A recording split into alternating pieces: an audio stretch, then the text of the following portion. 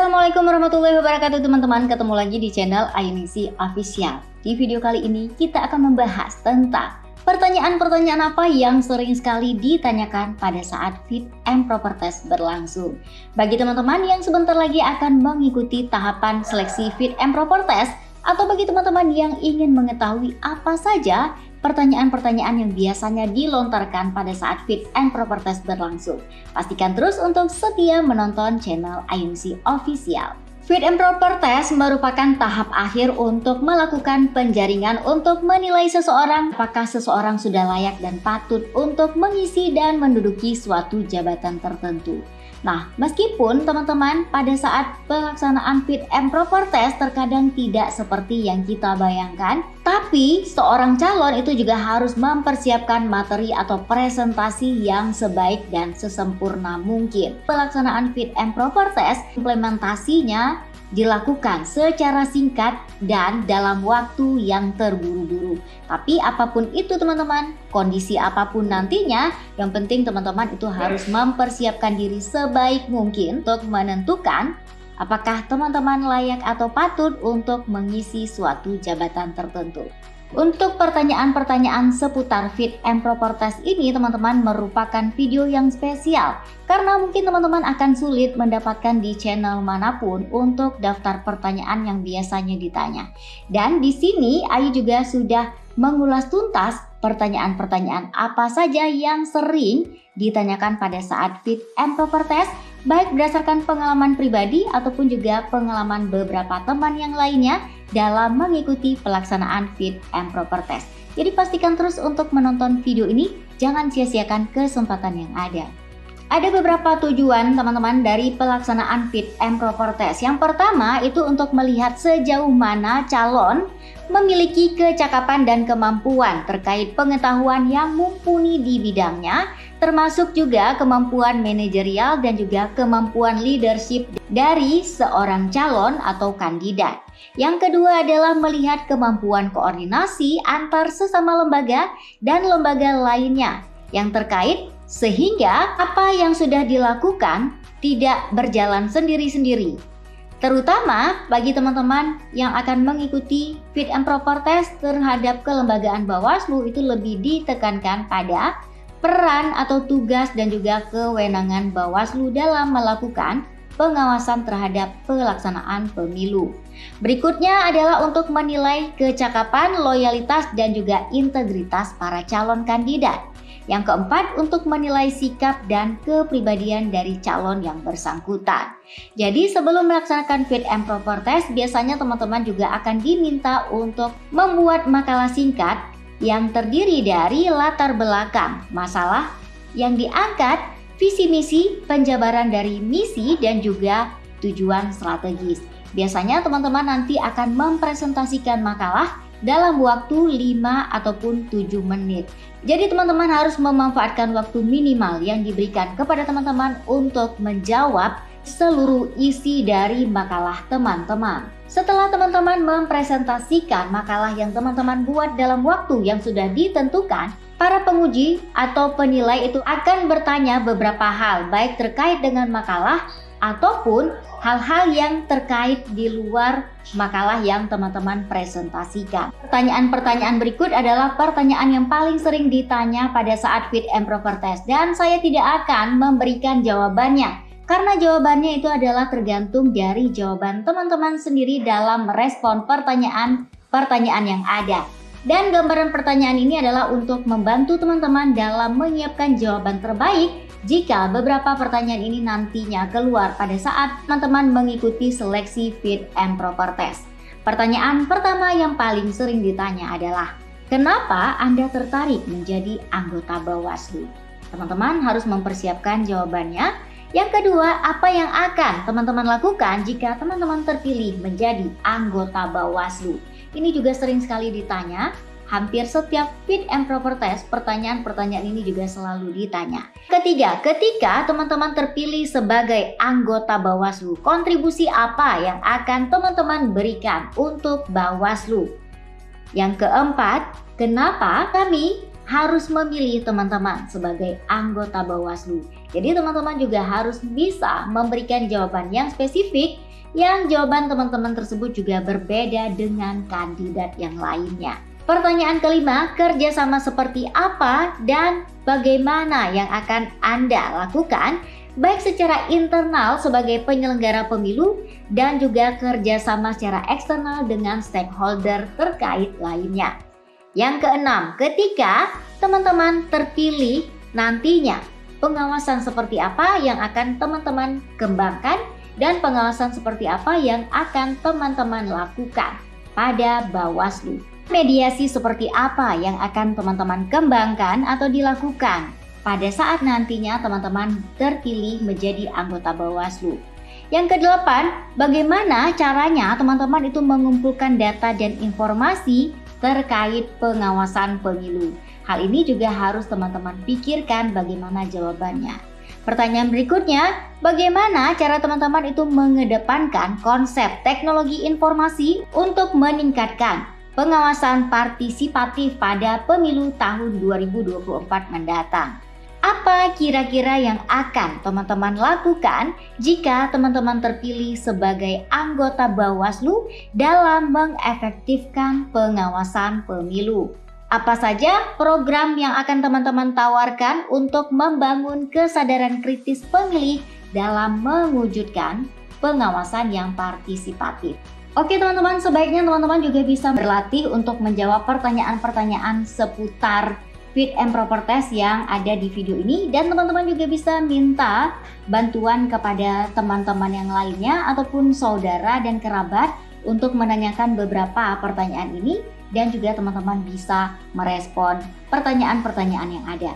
Tapi teman-teman sebaiknya juga nanti pada saat teman-teman berlatih, pertanyaan-pertanyaan yang diajukan kepada teman-teman itu sebaiknya ditanyakan secara acak untuk menilai sejauh mana kemampuan teman-teman nantinya dalam merespon ataupun menjawab beberapa pertanyaan yang ditanyakan. Bagaimana posisi Bawaslu yang teman-teman lihat pada saat ini? Pertanyaan ini juga sering ditanya ya teman-teman. Jadi teman-teman juga harus fokus untuk melihat apa itu kelembagaan Bawaslu, apa saja kendala Bawaslu dalam melaksanakan tugasnya dan juga program-program apa, apa kelemahan dari program Bawaslu dan juga strategi pengawasan yang dilakukan. Jadi mulai sekarang teman-teman juga harus terus saja mempelajari apa itu kelembagaan Bawaslu secara detail. Berikutnya, bagaimana selama ini respon dari pemerintah, TNI Polri dan juga stakeholder terkait lainnya terhadap kerja-kerja yang sudah dilakukan oleh Bawaslu. Teman-teman juga bisa melihat seputar informasi-informasi terhadap bagaimana respon dari pemerintah, TNI Polri, dan stakeholder lainnya untuk kerja-kerja yang dilakukan oleh Bawaslu. Berikutnya, konsep bagaimana yang akan Anda tawarkan untuk melaksanakan tugas dan kewenangan. Jika di lapangan itu banyak pihak yang tidak mendukung kerja-kerja Bawaslu dalam mengefektifkan pengawasan pemilu. Teman-teman juga harus bisa merespon pertanyaan-pertanyaan terkait jika teman-teman nantinya terkendala pada saat pelaksanaan di lapangan dan apa yang akan teman-teman lakukan untuk menyikapi kendala-kendala yang ada. Apa masalah dan kendala utama Bawaslu dalam mengoptimalkan tugas dan kewenangannya dan apa yang harus dilakukan untuk mengatasi masalah tersebut. Hampir-hampir sama pertanyaannya teman-teman, tapi teman-teman juga harus bisa membedakannya. Yang ke-16, apa yang akan dilakukan terhadap visi misi yang ada dalam mengoptimalkan tugas-tugas Bawaslu. Pada saat nantinya teman-teman memaparkan visi, misi teman-teman tentunya harus menggambarkan bagaimana teman-teman bisa mencapai visi melalui misi dan beberapa program dan kegiatan yang teman-teman tawarkan agar tugas-tugas, fungsi, dan juga kewenangan Bawaslu dapat berjalan dengan baik. 17. Menurut Anda, apakah kewenangan yang diberikan untuk Bawaslu sudah memadai? Apakah ada kendala bagi anda dalam melaksanakan tugas Bawaslu? Pertanyaan seperti ini biasanya itu ditanyakan kepada incumbent. Jadi incumbent yang akan maju untuk tahap berikutnya dan juga untuk periode berikutnya tentunya akan dicecar dengan pertanyaan-pertanyaan yang lebih tajam dan menggigit lagi teman-teman. Apalagi jika teman-teman maju sebagai incumbent, pertanyaannya itu teman-teman juga lebih banyak menilai atau melihat kinerja teman-teman sebelumnya. Jadi persiapkan diri teman-teman agar kinerja teman-teman itu tidak dipertanyakan ataupun juga tidak dipermasalahkan pada saat fit and proper test. Ini juga masih pertanyaan untuk incumbent biasanya. Menurut saudara, apakah undang-undang penyelenggara pemilu terutama terkait Bawaslu sudah memadai ataukah perlu direvisi? Jadi teman-teman incumbent juga bisa melihat implementasi terhadap tugas-tugas atau beberapa hal atau beberapa ketentuan yang diatur dalam undang-undang. Apakah sudah cukup memadai ataukah mungkin terkendala dan diperlukan revisi untuk menjadi lebih baik. Menurut Anda, bagaimana pandangan masyarakat terhadap Bawaslu selama ini? Jadi teman-teman juga harus bisa merepresentasikan pandangan masyarakat terhadap Bawaslu menurut penilaian ataupun kacamata teman-teman. Apa yang akan Anda lakukan untuk membangun kelembagaan Bawaslu menjadi lebih kuat dan profesional. Tentunya hal ini juga harus tergambar dan tercermin dalam visi dan juga misi yang teman-teman presentasikan. 21 kinerja Bawaslu dalam mengoptimalkan pengawasan pemilu belum maksimal. Apa langkah yang akan diambil untuk membangun akuntabilitas Bawaslu dan langkah konkret apa saja yang akan dilakukan ketika saudara terpilih nanti. 22 kerjasama seperti apa yang akan Anda lakukan dan akan teman-teman kembangkan dengan lembaga-lembaga negara lainnya di luar penyelenggara pemilu. Strategi koordinasi seperti apa yang akan dikembangkan dengan pemerintah daerah, DPRD provinsi dan juga DPRD kabupaten kota dan kolaborasi dengan masyarakat serta lembaga penyelenggara pemilu lainnya.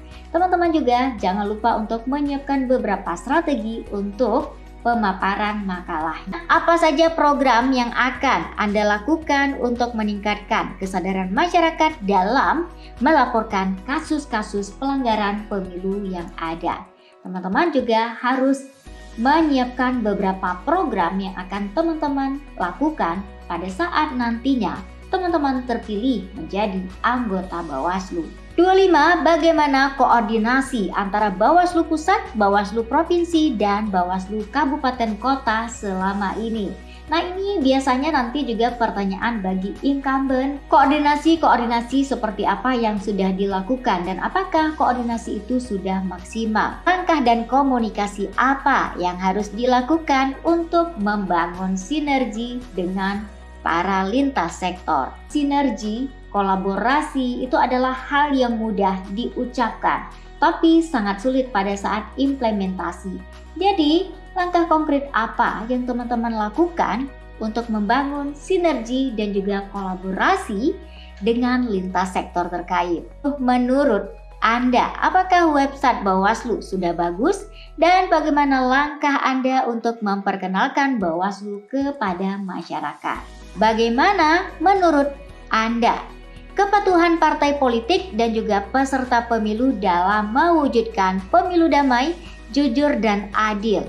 Bagaimana caranya agar partai politik dan peserta pemilu patuh terhadap aturan terkait kepemiluan? Hal ini biasanya juga sering ditanyakan kepada incumbent dan tidak tertutup kemungkinan juga pada peserta yang baru ditanyakan pertanyaan yang sama. Menurut anda, apakah Bawaslu yang sekarang sudah memuaskan? Apakah sasaran program yang diusung oleh Bawaslu saat ini sudah tepat? Nah, ini juga bisa ditanyakan kepada incumbent ataukah juga kepada peserta yang baru. Bagaimana posisi Bawaslu saat ini? Bagaimana strategi pengawasan yang akan Anda lakukan jika terpilih sebagai anggota Bawaslu? 33. Apa motivasi saudara menjadi anggota Bawaslu? 34. Apa komitmen Anda jika terpilih sebagai anggota Bawaslu? Jadi teman-teman harus menyiapkan apa saja komitmen teman-teman nantinya yang bisa ditagih atau fakta integritas teman-teman pada saat teman-teman nantinya terpilih sebagai anggota Bawaslu. Bagaimana hubungan Bawaslu dengan pemerintah, dengan DPR, dan juga penyelenggara pemilu pada saat ini? 36 strategi dan solusi apa yang Anda lakukan terhadap kendala yang dihadapi oleh Bawaslu selama ini dalam penanganan pelanggaran pemilu dan juga sengketa pemilu? Jadi teman-teman juga harus mempersiapkan semua jawaban dari pertanyaan-pertanyaan yang ada untuk memudahkan teman-teman dalam merespon dan menjawab beberapa pertanyaan yang diajukan pada saat pelaksanaan fit and proper test. Kalau tadi mungkin pertanyaannya banyak seputar isu-isu di luar kepemiluan dan teman-teman juga harus siap dan juga paham betul dengan isu-isu terkait kepemiluan karena tak jarang juga nanti pada saat fit and proper test untuk menguji sejauh mana kemampuan dan juga pemahaman teman-teman terkait kepemiluan nantinya akan juga ditanyakan beberapa hal terkait kepemiluan yang ada seperti berapa dapil yang ada di seluruh Indonesia saat ini dan berapa dapil yang ada untuk DPR RI berapa dapil yang ada di provinsi Anda dan juga berapa dapil yang ada di kabupaten tempat domisili teman-teman semuanya. Jadi teman-teman juga harus sering searching dan juga membaca peraturan-peraturan dan juga keputusan dari penyelenggara pemilu. Bagaimana jika pendapat Anda tidak dihiraukan oleh anggota Bawaslu yang lain? Biasanya teman-teman Bawaslu juga nanti terdiri dari beberapa orang yang juga akan berbeda pemahaman dan juga cara pandang dari setiap anggota yang ada. Bagaimana tugas teman-teman untuk menyamakan cara pandang ataupun pemahaman yang berbeda di antara sesama? Apakah perbedaan itu nantinya akan menjadikan polemik ataukah perbedaan-perbedaan itu nantinya akan menyatukan pandangan yang ada untuk menghasilkan keputusan terbaik. Hal ini tentunya nanti akan diuji kepada teman-teman. Apa yang akan teman-teman lakukan jika pendapat atau pandangan teman-teman itu berbeda dengan anggota yang lain? Dan bagaimana nantinya jika pandangan atau pendapat Anda itu dihiraukan atau tidak masuk dalam hasil rapat pleno. Apa yang akan teman-teman lakukan? Dan apa yang dimaksud dengan kolektif kolegia dan bagaimana untuk menyatukan pendapat yang berbeda di antara sesama anggota Bawaslu. Jika teman-teman terpilih sebagai ketua Bawaslu, apa yang akan teman-teman lakukan agar sekretariat Bawaslu dan juga anggota Bawaslu dapat seiring sejalan dan tidak terjadinya konflik internal. Teman-teman juga bisa bertanya kepada para incumbent ataupun teman-teman juga bisa bertanya kepada para demisioner anggota Bawaslu dan KPU terlebih dahulu sehingga juga teman-teman bisa mempersiapkan jawaban yang terbaik. Itu saja 40 pertanyaan untuk fit and proper test. Dan teman-teman, ini hanyalah ajang untuk teman-teman berlatih. Tapi pada saat teman-teman menghadapi fakta di lapangan, tentunya dengan waktu yang sangat singkat, dengan waktu presentasi dan tanya jawab 30 menit ataukah satu jam, mungkin saja semua pertanyaan ini tidak akan ditanyakan kepada semua kandidat. Pastinya mungkin ada 5 atau 7 ataukah 10 pertanyaan yang mewakili pertanyaan yang ada yang ditanyakan kepada teman-teman. Intinya teman-teman, persiapkan diri yang matang dengan melatih menjawab beberapa pertanyaan yang ada. Karena kita nggak tahu nantinya pertanyaan seperti apa yang akan ditanyakan kepada teman-teman pada saat fit and proper test berlangsung. Dan 40 pertanyaan ini adalah merupakan resume dari pengalaman pribadi dan juga pengalaman teman-teman yang lainnya yang sudah mengikuti tahapan fit and proper test. Terima kasih yang sudah menonton video ini, terima kasih juga yang sudah nge-like, comment, share, and subscribe. Sampai jumpa di video berikutnya.